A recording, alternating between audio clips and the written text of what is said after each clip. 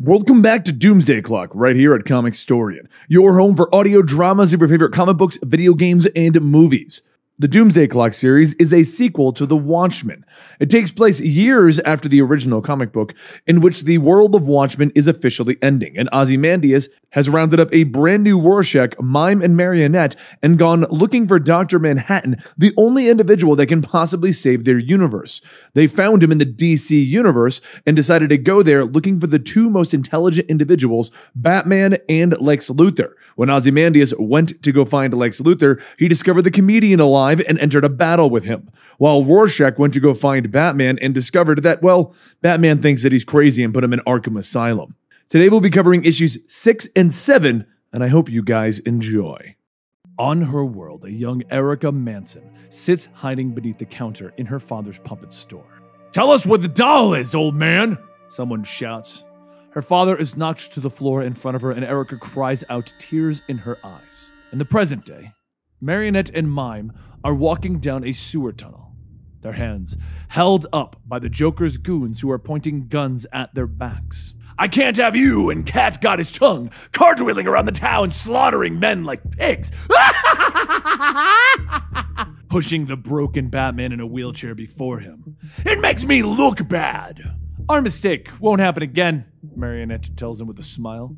The Joker smiles wider, telling her, I would usually carve off your face, but I'm not in the mood. The bat, at last, is mine! they suddenly stop, seeing three of Mr. Freeze's goons lost in the tunnels ahead. The men seem scared as the Joker and his crew grow ever closer. The men seem lost, and the Joker smiles wide. I have a proposition for you, lost souls. Ditch the Parkers and join the Joker. The men look at each other for a moment. These are kinda hot, one huffs, pulling off his hood. Shaky! Where are you, pumpkin? Joker calls, and from behind the rest comes a small man covered in tattoos. In his shaking hand, he holds up a tattoo gun, ready to welcome our new guest to the circle. he stutters. Marionette watches as her thoughts race back to her childhood, when she was a little girl in her father's shop when she first met Marcos Maez, whose family owned the store across the street. She saw him through the window and put on a puppet show for him. When she looked again, that boy was gone. She turned, startled to find the quiet boy standing next to her in the shop. Uh, hi, my name's Erica. Who are you? But Marcos remains silent, staring around at the hundreds of puppets that dangle off the walls. I know, the shop leaves a lot of people speechless for the first time when they see it. She smiles, tugging at the boy's arm, and she begins to lead him away, showing him around. Back in the tunnels, though, Mime and Marionette look on as Shaky begins to tattoo the new recruits, bringing screams of pain. And the Joker smiles, looking back at them over his shoulder. All right, I'm in a generous mood. Apology accepted, you two. Which one of you wants to go next? Marionette shakes her head, clapping her hands together, pulling free her wire. Tattooed by Mr. Jitters over there? Pass, she snarls, and moving fast, she severs the gun of the closest goon. Hey, Mime! Let's teach them how to wink, she smiles, and Mime nods, jamming his finger into another's eye sockets, bringing screams of pain and spouts of blood. Oh no! Don't lose your head, boys! Joker calls, pulling free a pistol. That's why they call you the Joker? That one was a bit on the nose. Joker aims his pistol at the man that Mime is beating and fires. The round cuts through the head of the Joker's thug, dropping him to the floor. Oh, well, that's embarrassing! Everyone stares in shock, but the Joker just smiles, turning back to Batman, pushing him down the tunnel. Well played! He calls over his shoulder. Come now, everyone! We wouldn't want to be later than we already are! Back in her world, in an earlier time, young Erica was walking down the street with her marionette puppet when she was stopped by the neighborhood kids. Why are you always smiling? It creeps everyone out, like your dad does. What kind of creepy old man plays with dolls? They tell her. The kids take the doll from her, throwing her to the ground and hitting her. While they call her dad a pedophile. Suddenly, glass bottles sail out of the air, cracking hard against the kids' heads, drawing blood.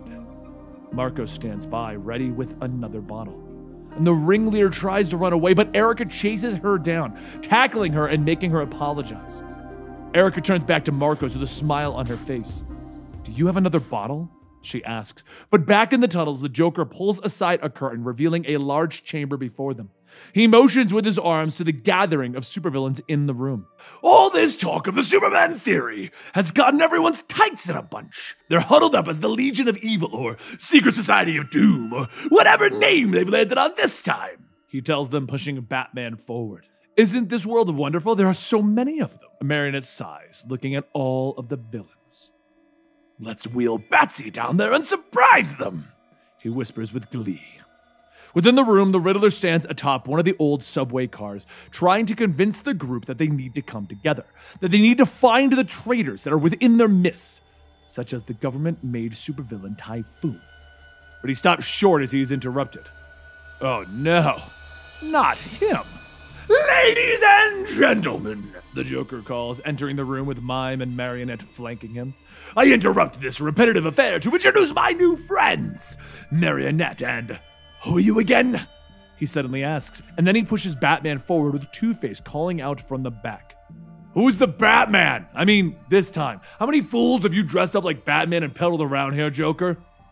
A few, I admit. The Riddler tries to get the meeting back on track, but some of the villains move forward, wanting to get the possible traitor out of the room.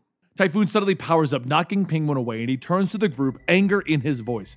I will kill all of but his words are interrupted as his head suddenly explodes from the impact of a bullet, and chaos erupts into the chamber as the villains begin to run in every direction.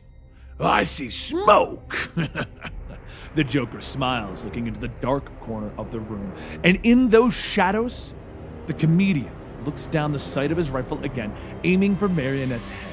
But the woman dodges, and one of the Court of the Owls drops to the floor instead, Mime leaps up onto the subway car and Blake takes aim. That's right, you crazy son of a bitch. Say cheese. But his sight is blocked as Giganta suddenly appears before him, swinging her massive fist, forcing him to jump away. He lands amongst the villains who then begin to crowd around him. Here we go, he sighs, pulling out his 45, and he begins to fire, nicking the villains and forcing them to scatter.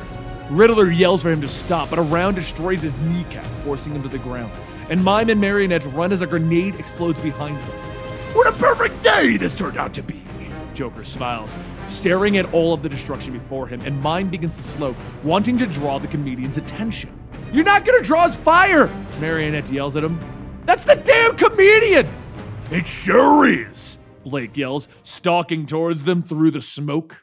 Meanwhile, in a previous time, in her father's workshop, Erica hides under the counter as her father is beaten. She calls to him when he's hit to the ground, but the men discover her, dirty cops, and they drag her free and threaten her so that her father gives up the protection money that he owes.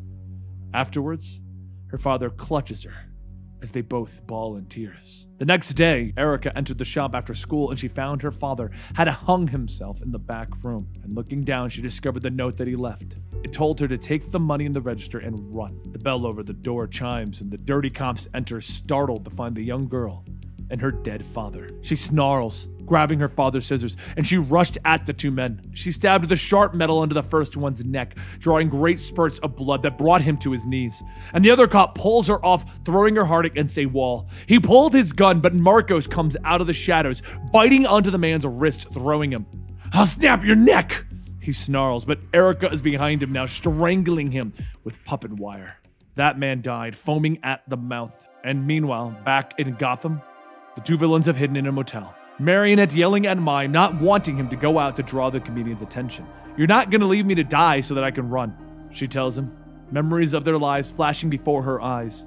Of them living on the streets, of them fighting to stay alive, of them falling in love, becoming villains. Her giving birth to their son while in prison. And later the two lay in each other's arms in bed. The thing about you freaks is you don't cover your tracks very well. Blake tells them, stepping out of the shadows in their room, pistol aimed at the pair. I only need one of you to tell me where Ozymandias is. Which is it going to be? He smiles. Suddenly, his face goes rigid, and he falls to the floor, revealing the Joker standing in the open doorway behind him, his joy buzzer still smoking. He reaches down, pulling free the smiley face button, and he clips it onto his jacket. I like you two. You're making me laugh. Marionette stands, looking down at Edward Blake. I was just thinking. I bet the comedian knows where Dr. Manhattan is. Dr. Dr. Manhattan? Who's that? I could use a good dentist. it hurts when I smile. The rain pours down as Rorschach, Saturn Girl, and Johnny Thunder stand under a bus stop overhang. The Green Lantern glowing in Rorschach's hands as he turns to the old man. He's he's my best friend. I've I've been looking for him for a long time. Johnny smiles, looking at the lantern. You have a magic genie? Rorschach asks, looking at the lantern in his hand. Genie's a lantern?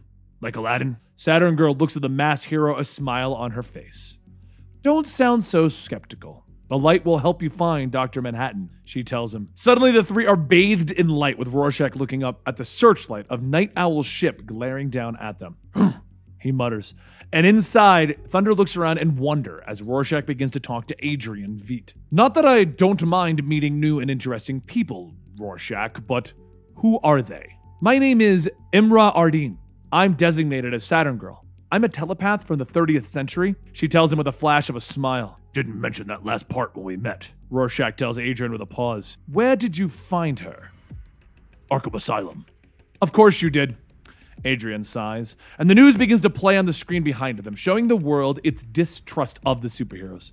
An image of Superman saving children in Benghazi runs next, and the newscaster explains that despite all, the world has maintained trust in the Man of Steel. Superman's why I serve the Legion of Superheroes, sent here to cleanse the time stream of the unknown anomaly that threatens him, Saturn Girl tells them, placing her hand against the screen. Reconsidering my suggestion of bringing them with us. Rorschach nods. I would imagine, Adrian agrees. He suddenly lurches forward, clutching his head. But Rorschach places his hand on his back, asking him, How long you have? Maybe none at all, Adrian tells him. And Bubastis begins to meow, his eyes and mouth glowing blue. What's Cat doing? Rorschach asks. Adrian explains that Bubastis is linked to John and is getting his scent from both the Lantern and the two others on the ship. When it comes to Dr. Manhattan, there are no coincidences, Adrian tells his partner. Meanwhile, elsewhere in Gotham, Do I see a smile? Joker asks. Because if I don't see a smile, I can make one. Edward Blake looks up at the strange clown now in front of him, struggling to ask where he is. The Joker's funhouse hideout surrounds them with all of its flashing lights and bright pink. The clown prince of crime comes forward, pinching the man's cheeks. You've caused quite a stir with my brethren, but I will give you five stars for that shot to Edward Nygma. What's green, red, and missing a kneecap? Behind them, Marionette is admiring the Joker's wall of weapons and power tools. Don't be shy! My home is your home! He calls out. And the woman takes hold of a power drill, stepping forward to the restrained comedian. She leans forward, demanding to know how the comedian arrived in this world. How he didn't die. Why don't you uncuff me and I'll show you, sweetheart? The drill is driven into his arm, spouting blood and screams.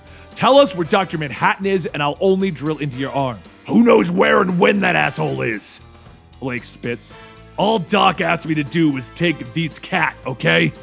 I was just having a bit of fun with the two of you. Marionette brings the drill close to the man's arm again, but she is interrupted when Mime taps her, making an image of bat ears with his fingers. The two look over to see that Dark Knight has freed himself and is stalking across the room. He throws a smoke bomb and the two villains leap at him, but he barely ducks underneath Marionette's garrote as it shears off one of the ears on his cowl. The kick sends her across the room, though, with Mime firing his invisible gun. The round cracks a window instead, though. I didn't see that coming! Outside, though, the Nite Owl's ship is hovering outside of a building. Adrian prepares to step out, telling Thunder and Saturn that they should wait behind. He takes the lantern from them, basking in its glow. Inside, Batman tosses Mime away, throwing his hands up in time to stop Marionette's wire from cutting off his head. He screams in pain and anger, though, as the wire cuts into his wrist. A burst of flames erupt from the other side of the room as Joker places a flamethrower between his legs. Is that a flamethrower in your pocket, or are you just happy to see me? Come on, somebody laugh! No time for laughing. Rorschach grumbles behind him, and on the other side of the room, Batman steps through the smoke, brushing the flames off of his cape. Rorschach, I was wrong about you. He growls, and Adrian agrees, stepping into the room. He greets Blake and Bubastis meows as his eyes glow blue. What the hell is so special about that cat? Blake asks from his chair and the cat begins to glow brighter and brighter, and energy begins to crackle between the cat and the lantern. Bubastis sees John's temporal fingerprint on this lantern and you, Edward. As she feeds, John should feel a strong pull to her. To deny it would prove painful. The energy begins to shoot out around the room, with Adrian crying out, John, I demand that you show yourself! Suddenly, the energy stops, and Dr. Manhattan stands in the center of the room. Hello, John. I know who you are. Batman growls, and Joker throws up his hand, shielding his eyes from the naked Dr. Manhattan. Whoever you are, put clothes on for God's sake! Or at least for mine! John doesn't do anything, though. Instead, he seemingly traces a circle around himself and the others from his world. What what is he doing, Veidt? Rorschach asks, and Adrian steps forward, still holding his cat. I'm sorry for summoning you here like that, John, but we need to talk. Batman and the Joker shield their eyes as the room is filled with a bright flash of blue light. The group of strangers is suddenly gone. The circle on the floor appears, floating over a waterfall in a deep jungle. So let's talk, John tells him. Adrian stands before John, asking him to return to their world to save it. You've come a long way for nothing, Adrian. I'm not going back, he tells him.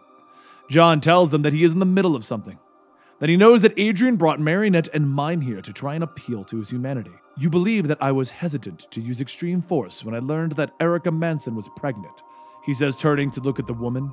But I did not spare you because you were pregnant. I saw what your child would do and I chose to save him. John tells her. Marionette crosses the small space, angry, demanding to know where her child is. What will he do? What child? John asks, stunning her. You're pregnant again. The two villains look at each other before pulling one another into a tight embrace. You will not change my mind, Adrian. I'm disappointed in you. I was, I am, I will be. He tells the man, and Rorschach steps forward, trying to convince John. Adrian has changed, dying from cancer. John pauses, glancing at Veidt. Adrian does not have cancer. Rorschach doesn't understand, and Adrian tries to calm him, but Reggie grabs the man. You tell him the truth, Adrian, because you know I will. John explains, reaching out for the butterfly that is floating by him. Adrian looks at Rorschach, explaining that he lied to him because he needed him. Reggie, you see what I want you to see. You saw a man that wanted to fix the things that he broke. You wear the mask of the man you believed to be your father's friend. In reality, Rorschach broke your father. Your parents didn't die in each other's arms, they were separated because your mother was so unhappy. No, no! Rorschach snarls, his hands tightening around Adrian's throat. Is it true? Rorschach demands, the world shifting around them, and their small space is now floating over the rioting crowds that are filling the streets of Washington, D.C. It is, Manhattan tells him. And Adrian struggles to ask John why he came to this world, and John explains. At first, I thought I would live among them. I saw a vision of them most hopeful. I was hopeless. But then I saw nothing. The world flashes again and now they are floating above a movie screen showing a Nathaniel Dusk movie. John looks at the actors, explaining, I once knew the man named Carver Coleman. What does that have to do with anything? Adrian asks. But John holds up his hand. We've talked enough. The world flashes again, and they are now back at the Joker's hideout, but Dr. Manhattan is no longer with them. Adrian reaches down for Bubastis, hoping to get John back, but Rorschach lashes out, kicking him in the face. He falls, and the vigilante falls on top of him, raining blows on him. The Joker laughs, shocking Batman with his buzzer, and he reaches up for Rorschach, offering some constructive criticism. But Rorschach turns, throwing the clown to the ground, beginning to beat on him. The Joker is laughing, reaching up, tracing a bloody smile onto Rorschach's mask, and he looks up to find that Mime, Marionette, and Adrian are all gone. Outside, Saturn Girl and Johnny Thunder look up as the hatch door opens up, revealing a broken and bloodied Adrian. He pulls himself inside, and when the two try to help, he knocks Saturn Girl aside and throws Thunder back with a strong kick, and he struggles to the pilot seat. John refuses to call. He stutters. But with the knowledge that I have, Bubastis, I realize I can save more than our world. I can save this one too. I can save everything and everyone. I have a plan. John appears on Mars, stepping off the small circle of the floor that he has brought from the hideout. Visions of an angry Superman coming at him flash in his mind as he begins to walk across the barren landscape. A picture drifts along the dusty ground. Does Superman destroy me, or do I destroy everything? And there you have it. More of the Doomsday Clock reveals right here at Comicstorian. Now, we're going to be cramming a lot of this storyline out before it comes to its inevitable conclusion next Wednesday. So, if you want to get more Doomsday Clock, you want to see how this concludes, subscribe to the channel and you will get just that. Hit that notification button and you will know exactly when we put out new videos. We cover everything from DC to Marvel to indie books to video games to movies. We basically do it all in the same manner. And if you look above at the banner, you'll see what our weekly schedule is so you can have a general idea idea what you're looking for right here at the Comicstorian channel. Thank you so much for your continued support. If you want to get early access to our videos, join our Comicstorian Army program over at Patreon. You can also find me over at Twitter at Comicstorian, where we can basically talk about whatever you want. And other than that, thank you. I'll see you next time.